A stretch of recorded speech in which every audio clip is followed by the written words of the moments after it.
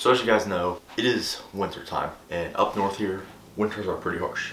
So usually if I can't physically fish open water, then I'm stuck doing videos like this. And today we're going to be talking about jigs. This is everything you need to know when you're getting started with jig fishing.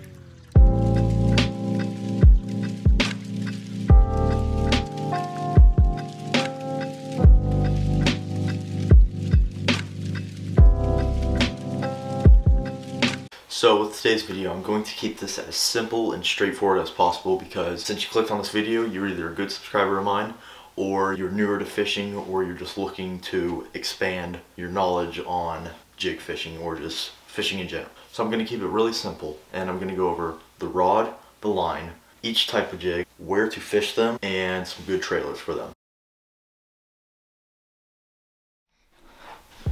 Now when I jig fish, I like to break it up into four main types of jigs. Those being the swim jig, the football jig, the finesse jig, and the flipping jig. Now of course you have many different jigs, those including like chatterbait, the bladed jig, like punching jigs. There's These are just like the four main types of jigs in my opinion. Alright, first up here is the football jig. You can fish it in rocks, very effective in the rocks because of that football shaped head. It will not get in those crevices of the rocks, it is nice and bulky. You can roll it over some rocks and the fish go crazy over it. But with the football jig, I would throw it on a medium heavy or a heavy setup with anywhere from 15 to 20 pound line depending on how murky the water is, where you're casting the jig. A good weight with this jig I would say is anywhere from 3 8 ounce to a whole ounce. I've never fished a whole ounce, but especially if you're fishing a pond, say half ounce, but depending on if you're going deeper, can definitely knock that weight up. Now a good trailer I would use with this, this is the Berkley Chigger Craw. This is a three inch crawfish imitation. Now, it would work perfectly with this jig because it's black and blue.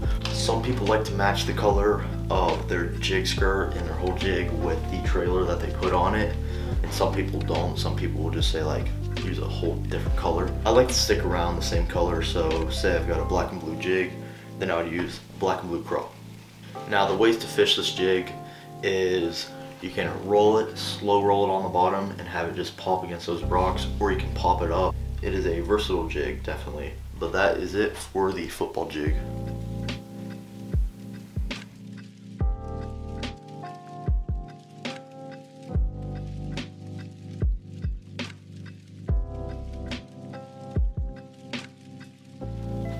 Next here we have the swim jig.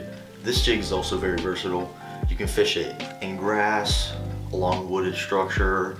You can fish it really anywhere. Now this is at its best performance through the grass because it will not get hung up anywhere. Um, it just goes straight through the grass really easily.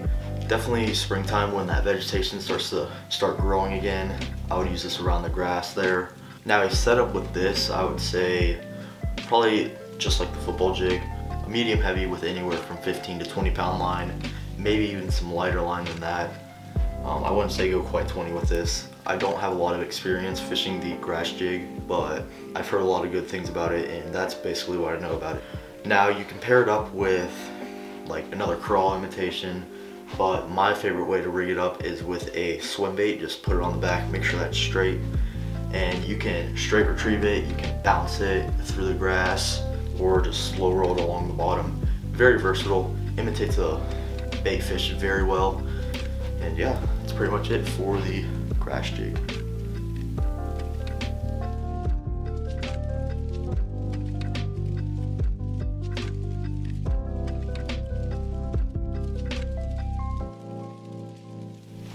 Third here we have the flipping jig. Now this is good for fishing around structure like wooded structure, laydowns, rocks. It is a very good jig for fishing just those very dangerous places to cast. It's got a really good shaped head that can just go straight through all that structure and, and you can really avoid getting hung up on all that rock. Now with these, I would definitely use heavier line. Probably, I would start with 17 line for me, with maybe 15 again. 15 is a pretty good Texas rig and jig line, but depends on where you're casting it. Especially when you're pitching into somewhere and you never know if the bass can get you easily hung up. You want to get out of there. You want to horse them in and get them out of there quick. All these jigs have good hooks to them. You definitely want a high quality hook because you're going to be setting that hook really hard. Um, it's got to get past that weed guard, penetrate the fish's mouth. So again, how you fish this, you can pitch it, you can somewhat sidearm cast it, but pitching and flipping is definitely the best way to do it. If you were wondering, pitch is just, you're holding your bait in your hand and you're just like putting your rod tip down, swinging it out there. You're just trying to like pitch it or like flip it into that specific spot. It's made for very accurate casting. Now, this works great with a boat or a kayak. It's kind of hard to pitch or flip, especially like on a bank. Um, you can kind of go off the side or like if you have like a skinny part in your pond, you can just go across and that would work pretty well. I would stick with a medium heavy or a definitely more towards a heavy rod because you're going to set the hook and just horse them in. A medium heavy would do okay, but you might want to have that extra backbone to just horse the fish in because you are not going to be wanting to mess around with the fish because they will get you hung up and you'll probably lose the jig or just the fish. And some good trailers for this, I would say more craw presentation, some beaver style baits. You got like this one with a rattler in it works pretty well. And that would get the fish's attention, especially in some dirtier water. And that is it for the flipping jig.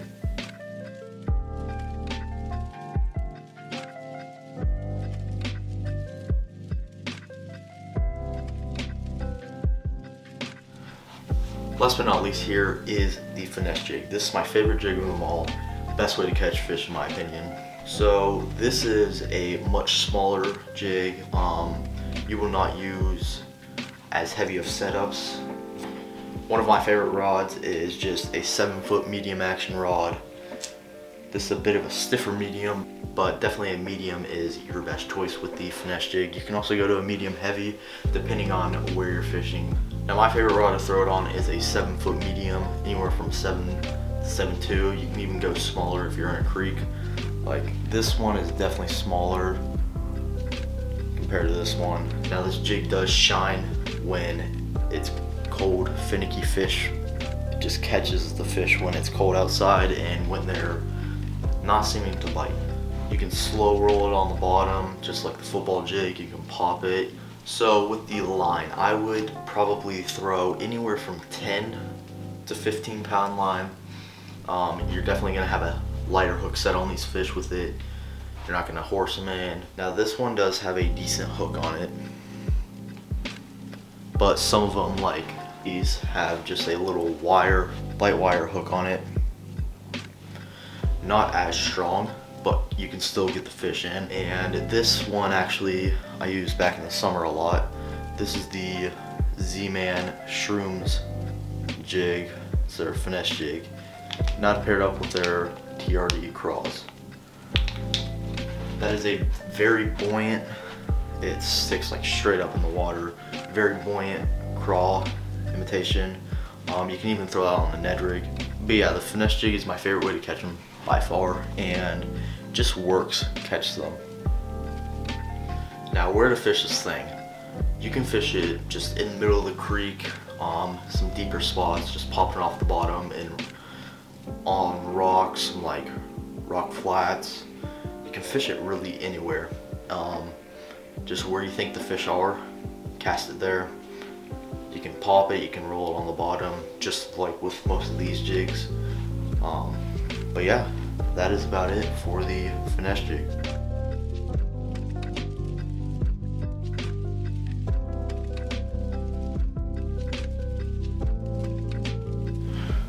Now I try to keep this video as simple as possible and as informational I could with and trying to keep it simple. So I hope you guys got to learn something off this and I hope you guys can go out there and catch some fish on the jigs. When this ice thaws on the pond, I will definitely be using jigs and let me know if you guys want any other videos like this. Like probably next video I'll go over is like crankbaits and I can go over like Texas rigs, just really anything, um, or just like my favorite finesse tactics. I'll probably do that later on. But yeah, let me know what kind of videos you guys would like to see me do in the future. And I hope you guys could take something from this video and use it and use it out on the water and go and catch some fish. I hope you guys enjoyed this video. If you did, make sure you go leave a like. If you're new, consider subscribing. And I'll see you guys in the next one.